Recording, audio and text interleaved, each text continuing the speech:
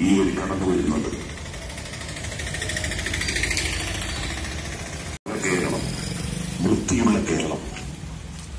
വലിച്ച ശുചീകരിച്ചതിന്റെ പ്രഖ്യാപനവും പരിസ്ഥിതി ദിനാഘോഷവും ബഹുമാനപ്പെട്ട M L A Shri Saneesh Kumar Joseph ഉദ്ഘാടനം നിർവഹിക്കും കേരളത്തിന്റെ ഭാഗമായി കൊടകര ഗ്രാമപഞ്ചായത്തിന്റെ ഗ്രീൻ കൊടകര പദ്ധതിയുടെ ഭാഗമായി പഞ്ചായത്തിലെ എല്ലാ വാർഡുകളും പരിസ്ഥിതി ദിനാഘോഷവും ഹരിതസഭയുടെ ഉദ്ഘാടനവും കൊടകര ഗ്രാമപഞ്ചായത്തിന്റെ